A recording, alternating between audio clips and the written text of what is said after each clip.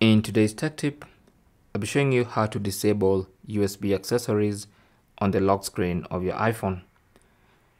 So what you need to do is unlock your phone first and then go to settings.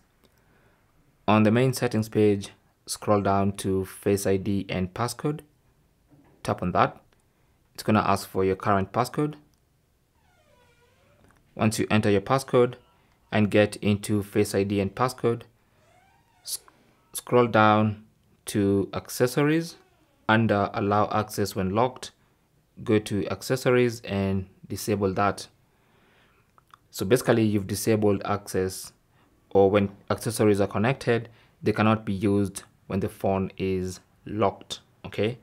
So that's basically how to disable USB accessories on the lock screen of your iPhone.